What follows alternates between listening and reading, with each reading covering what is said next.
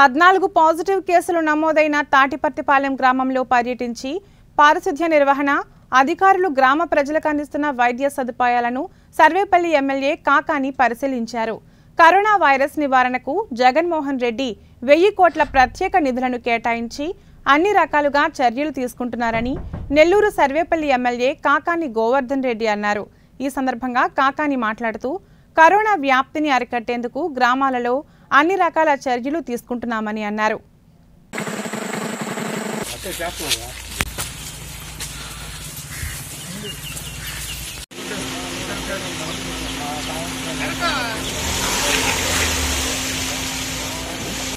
తాటిపర్తిపాలెం గ్రామానికి సంబంధించి పద్నాలుగు కరోనా పాజిటివ్ కేసులు నమోదు కావడం జరిగింది.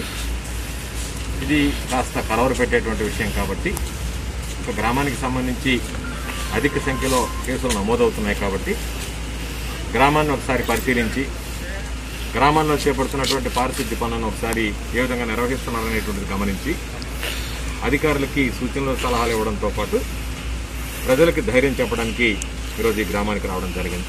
అయితే ప్రత్యేకించి కరోనా అనేటువంటిది చాలామంది రకరకాలైనటువంటి అపోహలతో భయభ్రాంతులకు గురయ్యేటువంటి పరిస్థితి ప్రమాదం ఏర్పడుతుంది.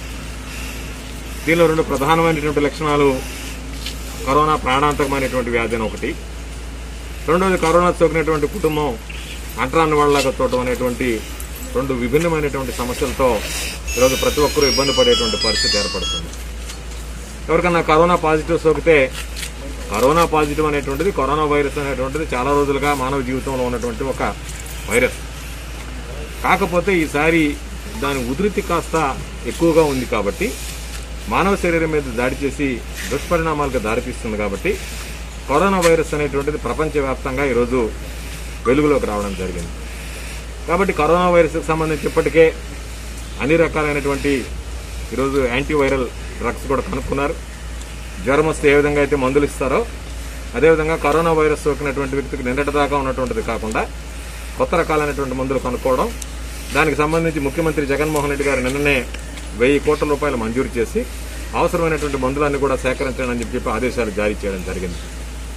కాబట్టి భవిష్యత్తులో కరోనా సోకినా సరే ఎవరికి ఎటువంటి ఇబ్బందులు లేకుండా అన్ని రకాలైనటువంటి చర్యలు తీసుకోవడంతో పాటు గత కొద్ది రోజులుగా జరిగినటువంటి పరిణామాలన్నింటినీ దృష్టిలో పెట్టుకొని కరోనా సోకినా సరే ఆ ఇంట్లో ఒక రూమ్లో ఉండేటువంటి విధంగా హోమ్ ఐసోలేషన్ అంటే బయటకు వెళ్ళి ఎక్కడో వేరే దగ్గర క్వారంటైన్లో ఉండాల్సినటువంటి అవసరం లేకుండా ఇంట్లోనే ఎవరిని కలవకుండా ఉండేటువంటి విధంగా ఈరోజు ఏర్పాట్లు చేయండి. ఎందుకంటే మీటర్ దూరం కన్నా కరోనా వ్యాప్తి చెందేటువంటి అవకాశం లేదు.